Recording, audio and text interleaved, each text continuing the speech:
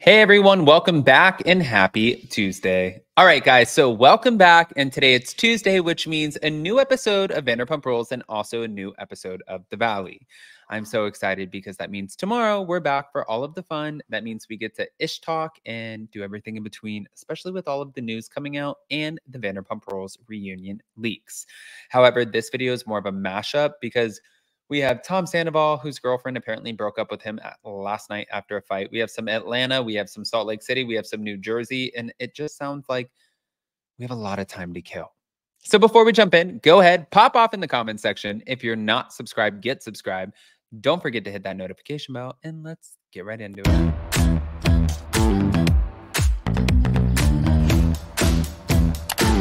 Cause, cause, cause,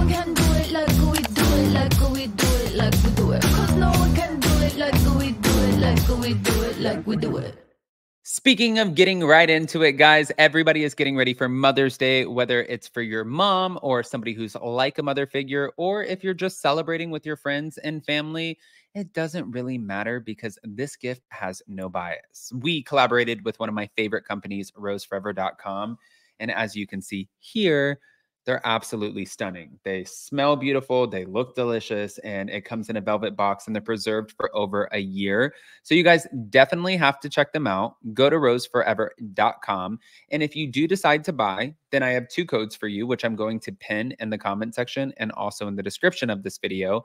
Code ADAM40 for $40 off, and then also code ADAM accompanied with that to get free shipping. Now, with that, let's talk about the breakup. Boom. Here we go. Okay. Thank you to realitytea.com. Tom Sandoval and his new girlfriend, Victoria Lee Robinson, unfollowed each other on Instagram. Now, before I get into the story, can I just say, Bravo fans all over the place were calling this, saying that this breakup was going to happen the minute that they announced that Vanderpump Rules was on pause. There were so many memes making fun of the Tom's girlfriend, saying that they were investing themselves, Victoria Lee Robinson and Sophia Skoro, investing themselves into the Toms in order to get some screen time. And then all of a sudden, when the going gets tough, the new girls get going. It looks like they weren't in it for the long haul. Well, technically, Sophia Skoro is still around. So I can't say anything about her. But Victoria Lee Robinson, something happened because uh, there was a post that Victoria and Tom Sandoval unfollowed each other, and then Billie Lee unfollowed Victoria and Tom Sandoval. So I don't know what that looked like but it obviously wasn't a good thing. Back to it. Here we go.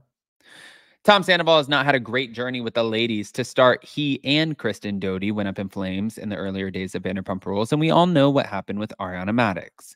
Now, post Ariana, Tom started dating a younger than him model named Victoria Lee Robinson. With Victoria, Tom seemed to fall pretty hard and fast. He even called her his addiction. Yet, following Tom's recent taping at Watch What Happens Live with Jax Taylor, Mm, there was a problem. The two have since unfollowed each other, and now there are so many questions. When it comes to Vanderpump Rules, Watch What Happens Live is a main character. The last night, or the night that the entire Scandoval storyline broke, Scheana and Rachel had just wrapped the taping of the series in New York City. When Scheana found out post filming, Rachel claimed that Scheana reacted to this massive bombshell in a physical manner. And this saw Rachel obtaining a restraining order against her co star. Now the boys just had their night or day of filming, and it looks like the drama is all happening once again, with or without Scheana's hashtag. As for the end results, this is them breaking it down as clearly as they can because it all reads like a middle school play. Tom has now unfollowed both Jax and Victoria. The reasons as to why are currently running rampant. We don't know. Did Victoria get Jaxed? Uh, we hope not. Now, as for Victoria, she unfollowed Tom, but she still follows his band, his bestie Tom Schwartz, and also Billie Lee. Yes, Billie Lee's involved somehow, and that's kind of weird. But in addition, Billie Lee has unfollowed both Tom and, and Victoria, but Tom still follows Billie. Meanwhile, Jax still follows Tom and Victoria, but not Billie. And we don't really know what the hell is happening. But what we do know is, again, a complete and utter shit show. Let's take it over to Jersey for a second. We're going to take a breath. Thank you to Breaking the Rules Pod also are privy to some insider intel, which is that Teresa Giudice and Louis Ruelas and Jennifer Aydin have, uh, I guess, a direct line into the sun, and they spill their tea through the sun. Is that right? Am I doing that right? The gossip rag, the sun. Yeah, yeah. I was on I was on the phone with Jim Leonard, and he made it very clear that Diana Cooper at the Sun is on their team. In the middle of June, when I was DMing with John Fuda's ex Britney, the Sun released another article per Diana Cooper talking about Britney to keep her in the press. There was a reason why she was going to stay relevant and they needed her out there because she was going to use Britney's DM against John Fuda as season 14 storyline. So yes, they have connections. You also are privy to some insider intel, which is that Teresa Giudice and Louis Ruelas Mm. and Jennifer Aydin have, uh, I guess, a direct line into the sun, and they Okay. That's probably not a good look.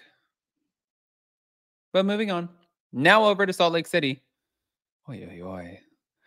So, thank you to Reality Blurb. Things have been tense during the filming for season five of The Real Housewives of Salt Lake City. Now they have wrapped filming, but it was recently reported that Mary Cosby unfortunately called Lisa Barlow's 12 year old son the R word. Now a report is revealing where Mary and Lisa stand after the feud. Plus, did Mary confirm for fans who her closest allies are for the upcoming season of the show? That's what the question mark. Mary was a full-time housewife for the first two seasons of Salt Lake City, and then she then left the show after skipping the season two reunion, but she returned as a friend of for season four. It's been said that she's in a full-time housewife mode for the upcoming season, but neither Bravo nor production have confirmed the rumor.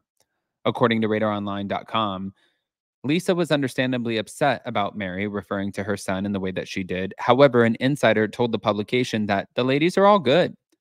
Essentially, they have moved on from the hurtful use of the word because they are coworkers and have a show to film. However, the insider remarked that this isn't something Lisa will forget.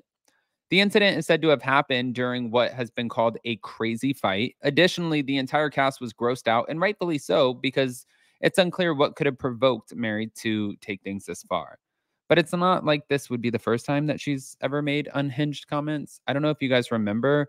She made comments about Jen Shah being a part of some sort of gang. I'm not going to, you guys have seen the show. She also made comments about Heather Gay that were completely inappropriate. But the inbred thing, that was awful. Um, she has body shamed. Mary Cosby gets away with saying a lot, a lot of nasty negative comments. She does get away with a lot.